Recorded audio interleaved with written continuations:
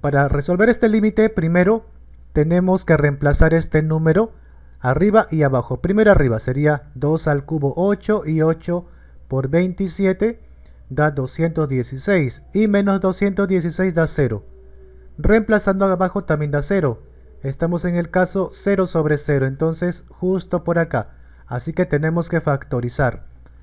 Arriba tenemos una resta de dos términos donde la variable tiene exponente 3, así que estamos en este caso. Pero para e, usar esto, cada uno tiene que tener su exponente 3. Acá primero, para que me dé 27, ¿qué número al cubo? 3, 3 al cubo, ¿verdad? Agrupamos con el x y ya está. 3 al cubo, 27, x al cubo, acá está. ¿Qué número al cubo da 216? 6, ¿verdad? Listo. Ahora sí, cada uno tiene su exponente 3, así que ahora, acá, primero va la resta a menos b, o sea, la resta de las bases. En este caso a es 3x y el b es el 6.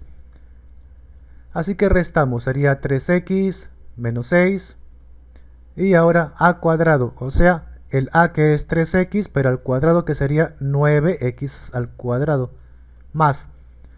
Ahora a por b, o sea, 3x por 6 que sería 18x más, ahora viene b al cuadrado, o sea 6 al cuadrado que es 36. Abajo lo dejamos igual porque vemos que se va a eliminar con esto que es igual. Acá sigue 2 y ahora de nuevo reemplazamos el número 2 en todos los x. Arriba sería acá 2 al cuadrado 4 y 4 por 9 36. Acá 18 por 2 36. 36 más 36 más 36 sería en total 108. Respuesta.